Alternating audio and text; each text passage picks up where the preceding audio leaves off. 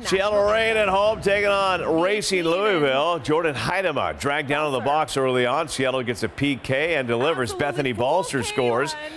And Seattle takes a 1-0 lead. 65th minute, Seattle so close to adding a second goal. Jess Fishlock finds Veronica Latsko. Her shot hits the post.